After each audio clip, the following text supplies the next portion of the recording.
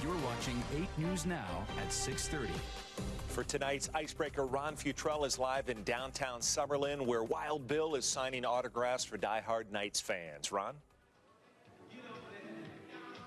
Hey there, Brian. Yeah, doing something a little bit different here tonight. There have been hundreds of fans here that have showed up. We're at the end of the line right now for the fans, but hundreds showed up here tonight to get an autograph of one guy, Wild Bill Karlsson, who's the leading scorer on the team and one of the top scorers in the NHL. Here's my conversation with Wild Bill in tonight's Icebreaker. Uh, you three have worked together very well this season. Top line on the team. You're one of the top scorers in the NHL, top scorer on the team. What's made this chemistry work between Marchessault, Riley Smith, and yourself? Yeah, it's a good question. um, I think um, we both, uh, or we all three of us, think uh, the same.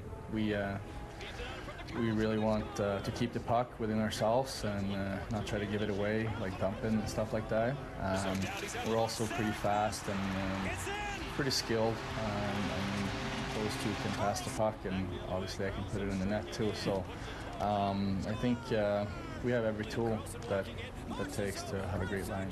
How about the fans here? Uh, As you're coming in here tonight, there's 150, 200 fans out there waiting to sign an autograph, waiting for you to sign an autograph to them, and how that, that the crowds here have been amazing. I think it shocked a lot of people. Yeah, yeah, it shocked me. Are you surprised? Okay. A little, yeah. I, I mean, I didn't know what to expect. Um, I thought maybe would only be tourists uh, coming in to cheer for their team when they play here, but it's, it hasn't really been that at all. Um, uh, Vegas is a hockey town. Uh, I mean, you could tell.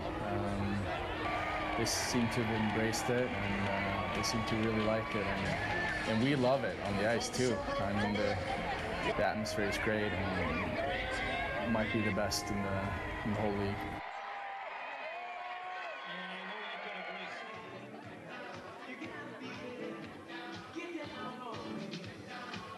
All right, so Bill Karlsson, wild Bill Karlsson, enjoying his time here in Las Vegas, loving it here in town. By the way, he is a restricted free agent after this season and says he would still like to stay here in Las Vegas. He's enjoying it a lot in this city. Certainly his play has shown that.